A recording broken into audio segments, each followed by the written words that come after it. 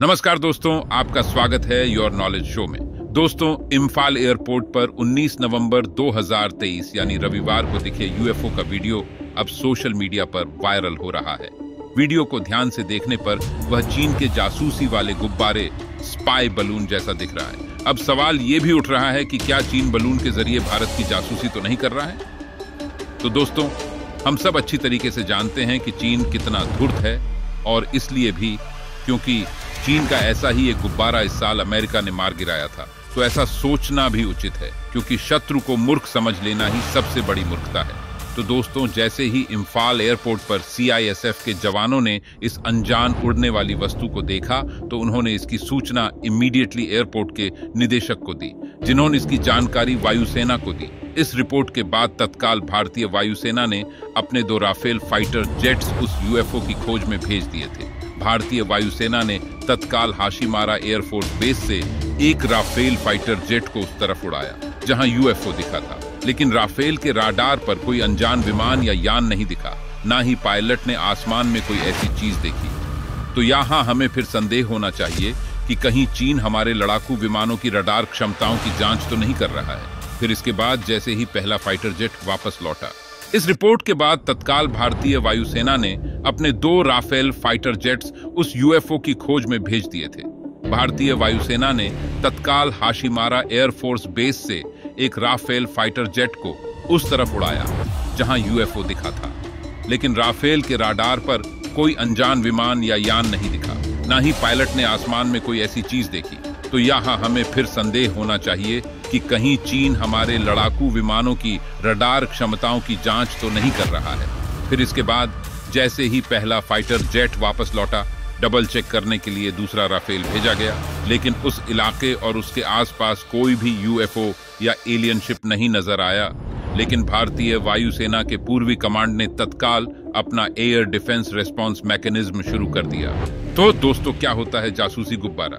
ये सबसे पहले आपको बता दूँ। हालाँकि आप में से बहुत लोग ये पहले से ही जानते होंगे।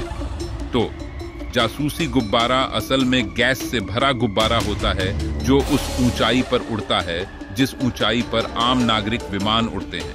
इसके नीचे बेहद जटिल कैमरे या इमेजिंग टेक्नोलॉजी लगी होती है। ये ज़मीन की तरफ़ देखते हुए अलग अलग हिस्सों, इमारतों, क्लासिफाइड जगहों खुफिया स्थानों की तस्वीरें लेते हैं, यानी तस्वीरों के ज़रिए जितनी ज़्यादा सूचनाएँ जमा हो सकें।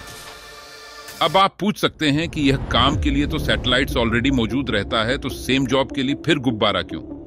तो दोस्तों, अंतरिक्ष से जासूसी करने के लिए आमतौर पर सैटेलाइट्स का इस्तेमाल होता है। लेकिन ऐसे खुफिया गुब्बारों का इस्तेमाल कोई क्यों करना चाहता है? असल में सैटेलाइट्स को अलग अलग ऑर्बिट में रखा जाता है, इसीलिए मनचाहा डेटा या तस्वीर नहीं मिल पाती।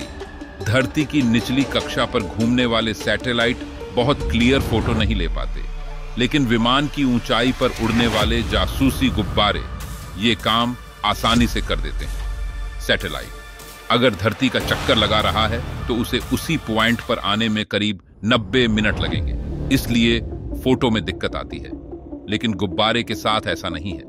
ये एक जगह पर काफ़ी देर तक रुक सकता है, लगातार तस्वीरें ले सकता है। दूसरे सैटेलाइट्स जो जियोसिंक्रोन्स ऑन ऑर्बिट में हैं, उनकी तस्वीरें बहुत कम ही स्पष्ट होती हैं। तो अगर कोई चाहे तो क्या क्या कर सकता है? इन स्पाई बैलून से ये भी जानना अति महत्वपूर्ण है। तो दोस्तों, जासूसी गुब्बारा के नीचे मेटालिक प्लेटफॉर्म पर कई तरह के कैमरे लगाए जा सकते हैं। आजकल जासूसी के लिए इलेक्ट्रोमैग्नेटिक स्पेक्ट्रम वाले कैमरों और राडारों की ज़रूरत पड़ती है। वो भी लग जाते हैं। इसमें विजिबल स्पेक्ट्रम पर फोकस ज़्यादा रहता है, यानी सामान्य कैमरे जैसे। ये लगातार फ़ोटो ले सकते हैं जूम इन जूम आउट कर सकते हैं। इसके अलावा इन पर नाइट टाइम इंफ्रारेड कैमरा भी लगाए जा सकते हैं। अब ये भी जान लीजिए कि अपना रास्ता कैसे तय करते हैं ये गुब्बारे।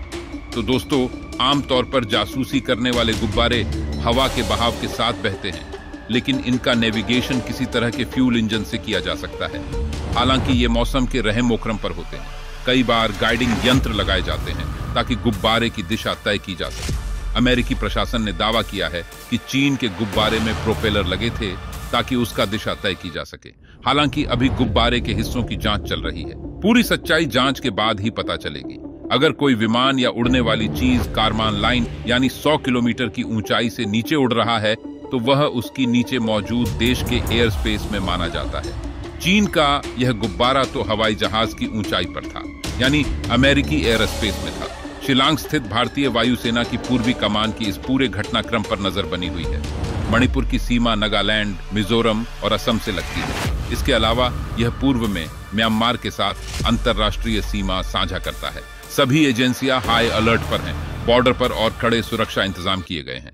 जैसे ही कुछ अपडेट आती है इससे रिलेटेड हम यहीं पर अपडेट करेंगे। इसलिए हमारे साथ कनेक्टेड रहने के लिए चैनल को सब्सक्राइब करें और बेल आइकॉन दबा दें, ताकि आपको हमारे नए वीडियो के नोटिफिकेशंस मिलते रहें। Thank you very much for watching